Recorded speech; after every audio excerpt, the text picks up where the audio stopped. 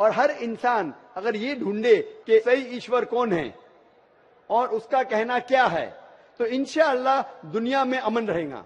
लेकिन कई लोग नहीं चाहते कि दुनिया में अमन रहे, इसीलिए वो देखते हैं इस हमारे हिंदुस्तान में। सारी दुनिया में हिंदुस्तान एक ऐसा मुल्क है जहाँ सबसे ज़्यादा मज़हब के नाम पे राइट्स हुए, दंगे फसाद हुए। और इसका मैं ब्लेम डालता हूँ हिंदुस्तानी नागरिक पे ने हिंदुस्तानी पॉलिटिशियन पे।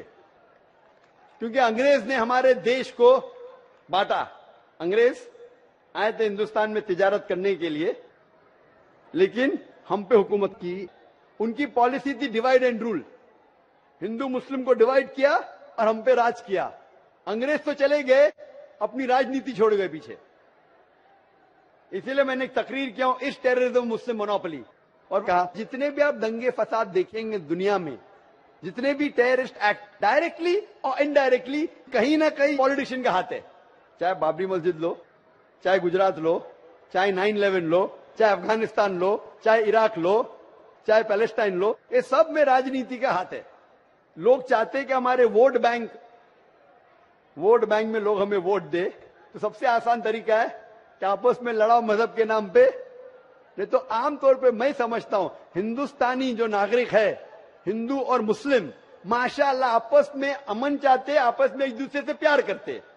लेकिन इस शांति, इस अमन को अक्सर कुछ लोग अपने फ़ायदे के लिए इसको तोड़ना चाहते हैं, इसको भ्रष्ट करना चाहते इसीलिए आप देखते कि ये राइट्स होते हैं।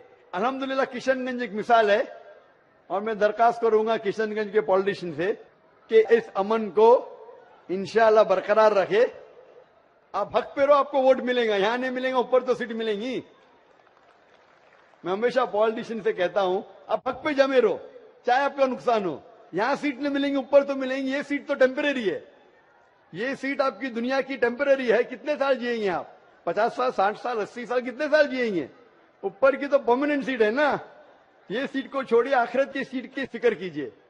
इसीलिए जो ईश्वर का पैगाम है, खुदा का पैगाम है, अल्लाह का पैगाम है, हक पे रहिए और हक का साथ दीजिए। चाहे आपको यहाँ सीट मिली का नहीं मिली, आखिरत में तो मिलेंगी और वो हमेशा आपके साथ रहेंगी। Hope the question